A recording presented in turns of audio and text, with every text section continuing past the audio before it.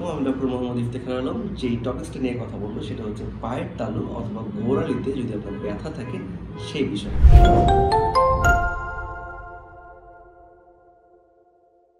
পায়ের তালু বা গোড়ালিতে যে ব্যথার মেইন কারণ সেটা হচ্ছে প্ল্যান্টার ফাসাইটিস অর্থাৎ আপনার পায়ের তালুতেই যে পর্দাটা বা যে লেয়ারটা আছে ফাঁসাটা আছে, সেখানে যদি ইনফ্লামেশন হয়, সেক্ষেত্রে কিন্তু আপনার পায়ের তালুতে ব্যথা হওয়ার সম্ভাবনা অনেক বেশি।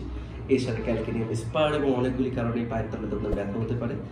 আপনি যদি ডায়াবেটিস পেশেন্ট হন, তাহলে হচ্ছে আপনার এই পায়ের তালুর ব্যথার সম্ভাবনা অনেক বেশি। কী করবেন? পায়ের তালুতে যদি ব্যথা থাকে, ঘরোয়াভাবে যে অ্যাডভাইসটা আমরা পেশেন্টদেরকে দেই, সেটা হচ্ছে গিয়ে যদি আপনি আপনার কিছু লাইফস্টাইল মডিফিকেশন করতে পারেন, এর মাধ্যমে কিন্তু ব্যথা কমিয়ে আনা সম্ভব। এবং রোগীদের হিস্ট্রিতে দেখা যায় যে পেশেন্টরা এক্ষেত্রে অনেক বেশি সময় কিন্তু খালি পায়ে হাঁটার একটা কমপ্লেইন করে।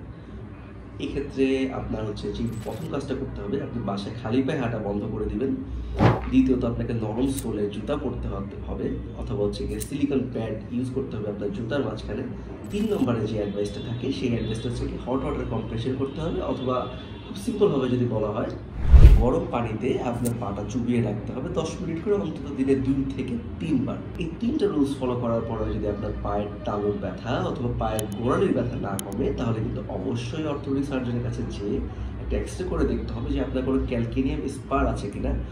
অর্থাৎ ছবিতে যেমন দেখা যাচ্ছে যে এক্সরেতে গোড়ালিতে আপনার যে সামান্য একটি স্পার অথবা হাড্ডির যে বর্ধিতাংশ আছে একটা সিম্পল কারণে কিন্তু আপনার ব্যথা করতে পারে পায়ের তালুতে প্রপার চিকিৎসার মাধ্যমে, সামান্য কিছু মেডিকেশনের মাধ্যমে এবং লাইফস্টাইল মডিফিকেশন যে তিনটা কথা বললাম, জুতা চেঞ্জ খালি পায়ে হাঁটা যাবে না গরম সোল ইউজ করতে হবে, গরম পানি ছেঁক দিতে হবে, এর মাধ্যমে কিন্তু আপনার ব্যথা কমে আসার সম্ভাবনা এইট্টি পার্সেন্ট অর্থাৎ আশি ভাগ সম্ভাবনা যে আপনার এই কয়েকটা সিম্পলভাবেই আপনার ব্যথা কমে যাবে। যদি ব্যথা না কমে আসে, সেক্ষেত্রে কিছু ক্ষেত্রে পেশেন্টকে দেখা যায় যে আমরা ফিজিওথেরাপি সাজেস্ট করি, অথবা পেশেন্টকে কিছু ইন্টারভেনশন করতে হয়, অর্থাৎ পায়ের তালুতে ইনজেকশন আমরা দিয়ে থাকি। এই সিম্পল ওয়েতে ঘরোয়াভাবে যদি আপনার সমাধানটা হয়ে যায়, তাহলে কিন্তু কমপ্লিকেটেড ওয়ের দিকে যেতে হয় না। কিন্তু পেশেন্ট বেশিরভাগ ক্ষেত্রে আমাদের কাছে আসে, যখন ব্যথাটা অনেক বেশি তীব্র থাকে, অনেক বেশি সিভিয়ার থাকে।